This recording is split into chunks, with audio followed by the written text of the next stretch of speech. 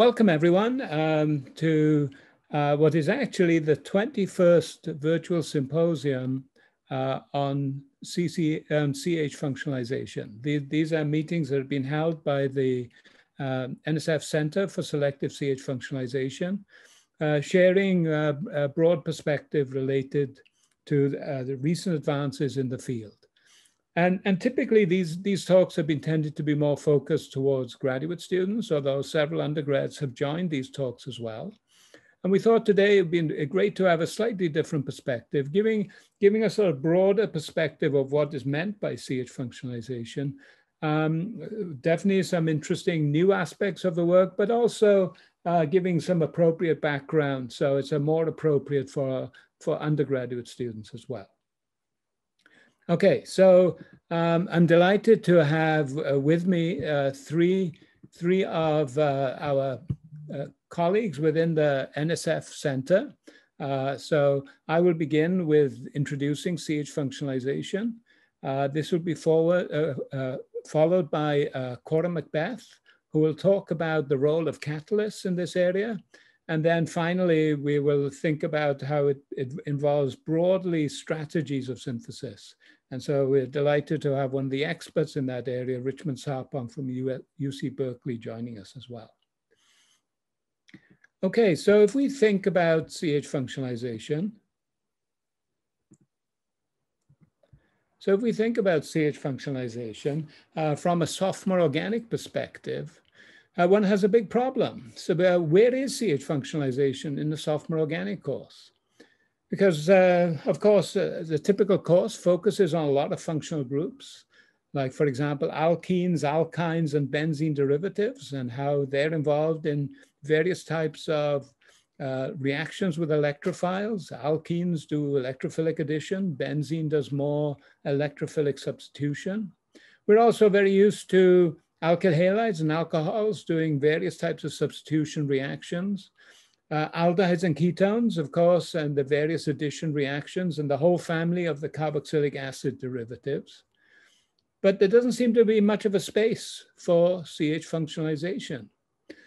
And if one looks very hard, probably at the smallest chapter within the sophomore organic textbook, you'll find something. And that is that chapter on alkanes, which, which basically is probably the, the least number of reactions possible because alkanes are pretty inert type of systems. And indeed, in that chapter, you will see one classic CH functionalization reaction, which is free radical halogenation. And particularly the reaction where you're doing free radical bromination uh, actually represent a pretty interesting CH functionalization reaction uh, involving radical chemistry, uh, chemistry because uh, the reaction occurs uh, selectively at the tertiary CH bond because the tertiary radical is the most stable of those uh, sites in that molecule. And, and even though um, in general, various um, alkane transformations like petroleum cracking, there are some very important industrial processes that relate to functionalization of alkanes in general, uh, the, the scope of, of uh, focusing on chemistry on the CH bonds is, is rather limited. And so for the last, last several years, I've been very fortunate to be a member of this Center for Selective CH Functionalization that is trying to find ways of, of actually achieving a totally different logic on how to think about making molecules instead of thinking about the functional groups we've seen before in the sophomore organic textbook, now thinking about how to do reactions selectively at CH bonds.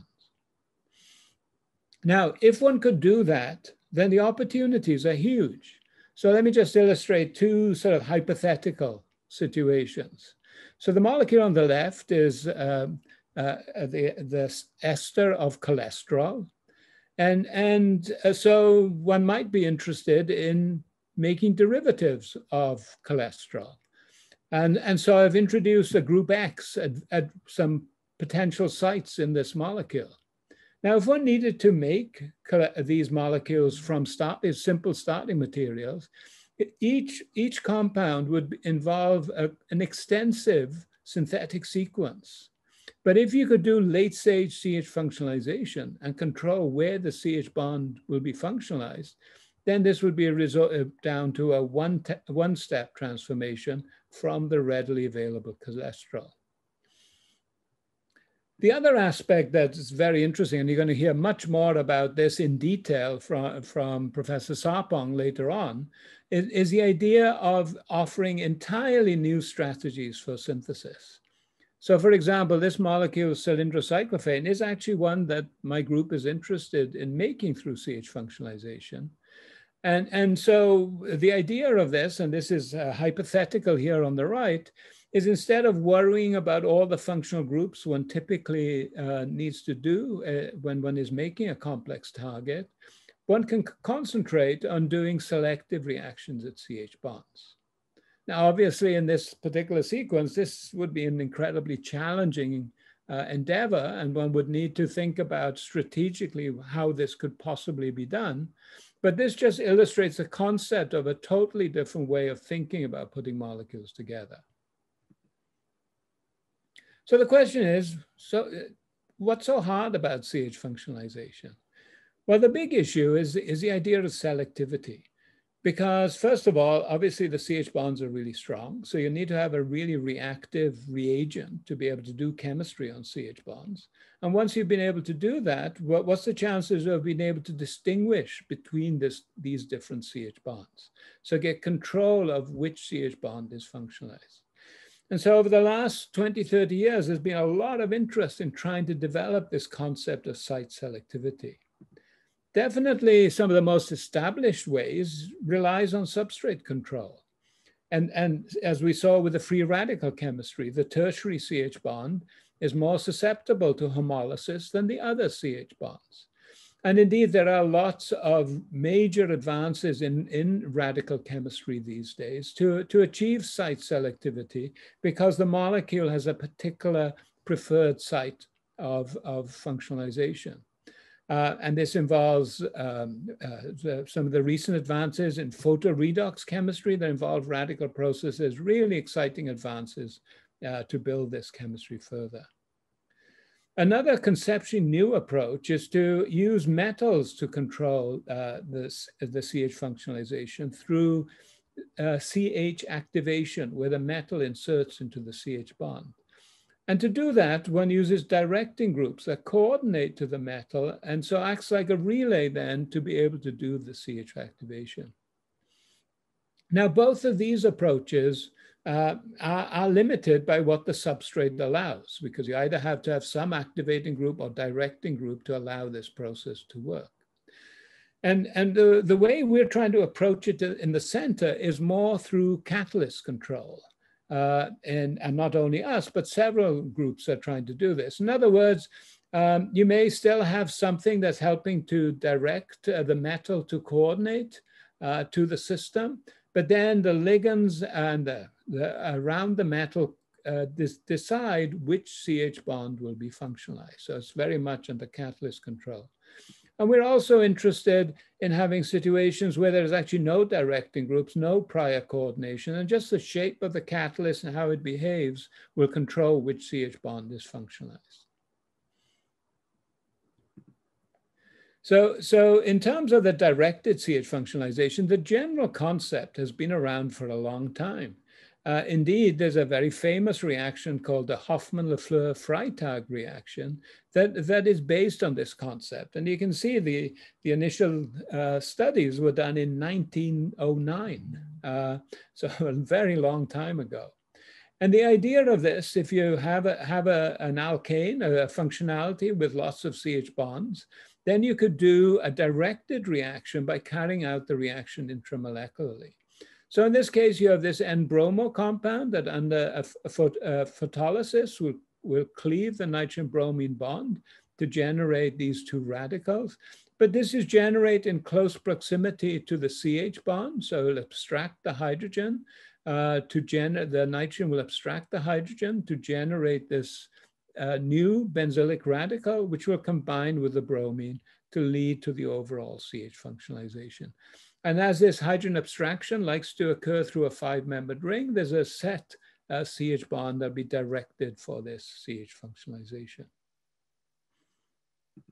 Now that concept has been extended to metal catalyzed directed CH functionalization. And really one of the major papers in this, year, in this area was in 1993, uh, describing how this ruthenium catalyst could actually uh, coordinate to the carbonyl, placing the ruthenium close to the CH bond. So you can go through that CH activation step. And so now you've got a, a, regular organometallic species that can react with the alkene to finish off doing this alkylation. Now, this type of reaction has become very, very extensively studied. It's now established as a valuable synthetic strategy.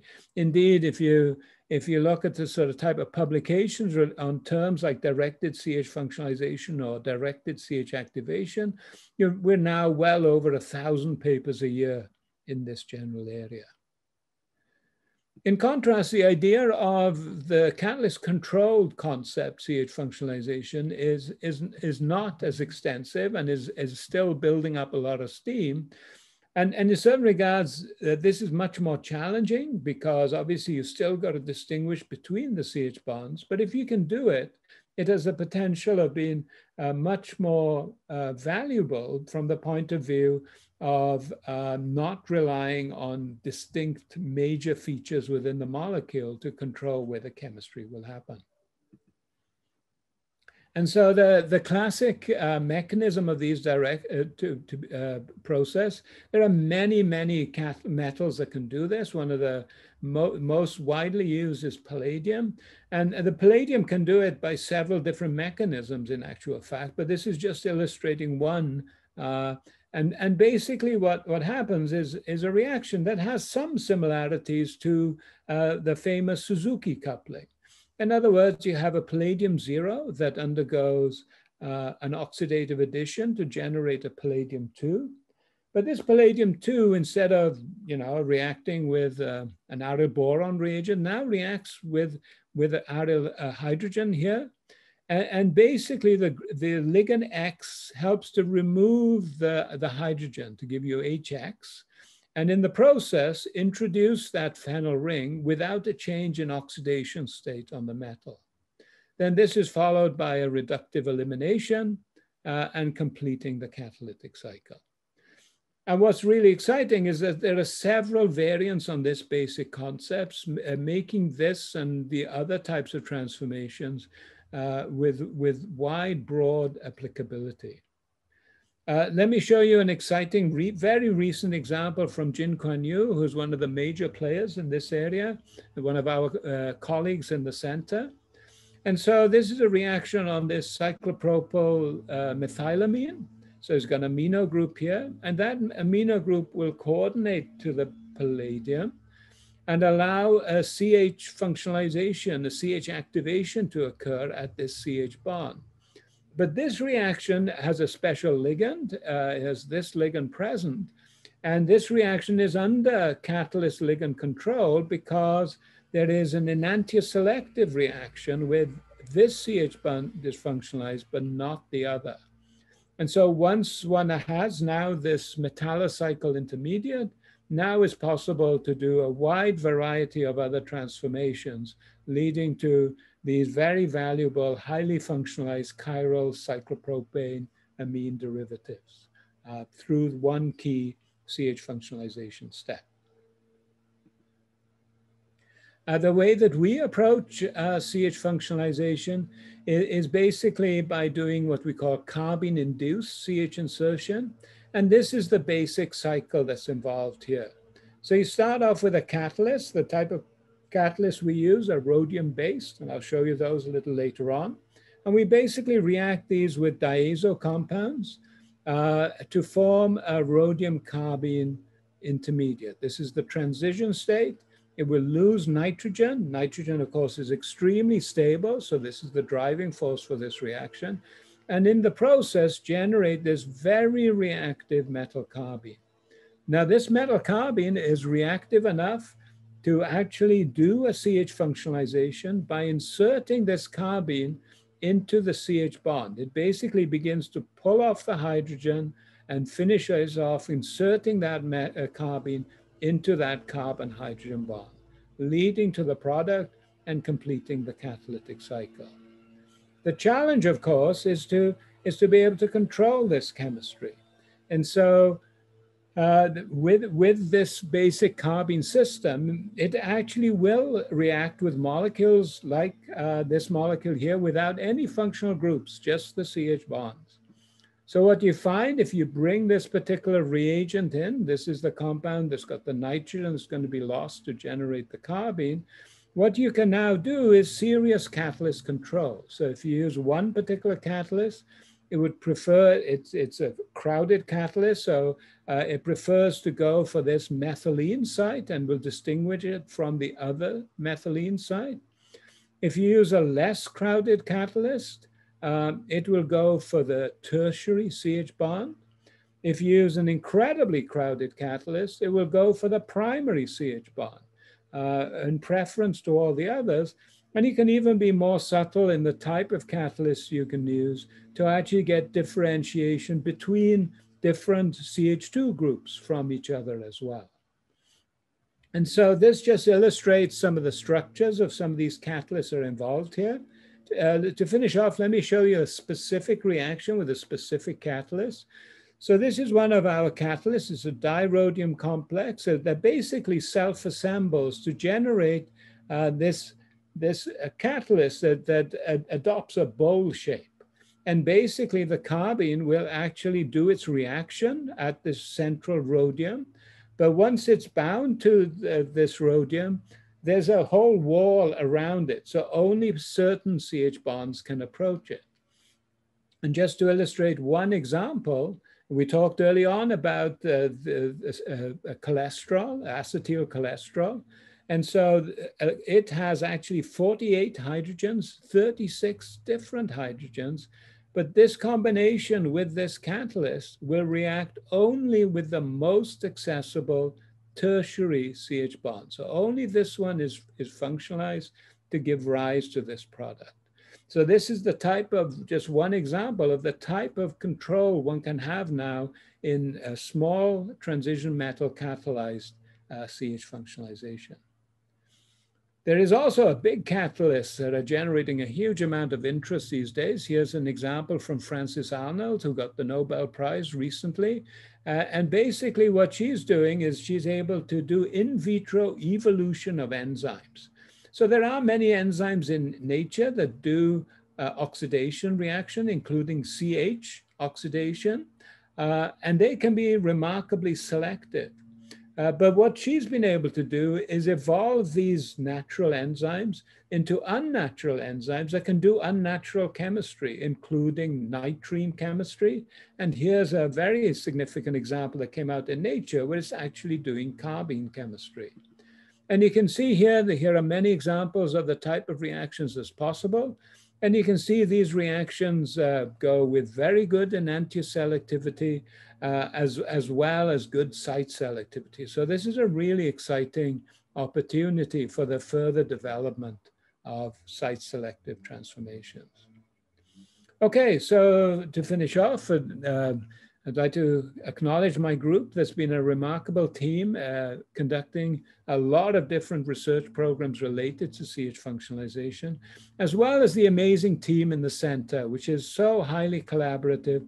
This just shows the links and all the collaborations that have been achieved between different professors within the center.